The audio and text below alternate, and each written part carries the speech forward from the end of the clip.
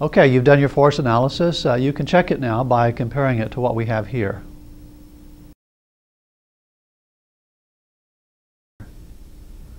For this situation, the spring scale accelerates downward. The same two forces exist on the scale as before, the weight of the object and the tension, but now the tension force will be less than the weight. Because the acceleration is downward, we'll pick the direction of plus to be down. And so the net force equation is F net equal. The tension force will now be a negative force because plus is down and tension is up. And the weight will be a positive force, again because it's down and plus is down. Using Newton's second law, ma equal minus t plus mg.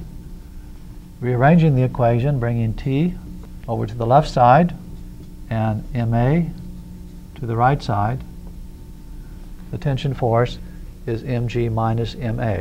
So in this case, the tension force is smaller than the weight of the object. All right, we have one more problem to do with the spring scale. I have a little bit different situation here.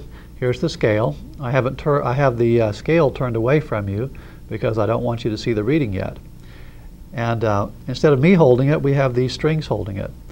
On one side, we have a string going over a set of pulleys to our 10 Newton bottle of sand. This is the same one that we were holding in the uh, last series of demonstrations.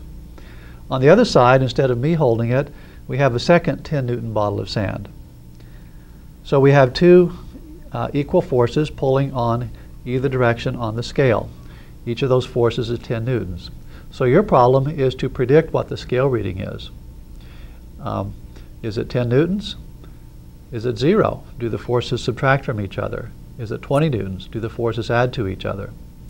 So you make your prediction on the electronic form, write down uh, an explanation for the answer that you give, and then click on the link that you receive in order to come back to the video and see what the answer is.